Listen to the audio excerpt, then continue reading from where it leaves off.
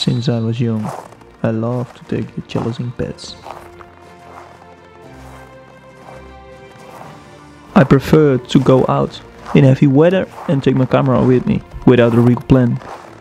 I like to be surprised by what I discover. Mostly this produces the most beautiful and most creative pictures.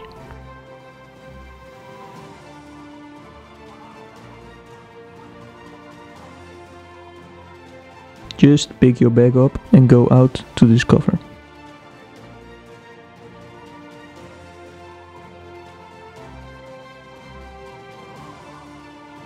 It's not only about your end goal, but enjoy the journey as well. While you're on your journey, you will achieve more knowledge and experience. This will take you further than you ever can dream. Every day I'm learning more and more. Go into the unknown and be surprised.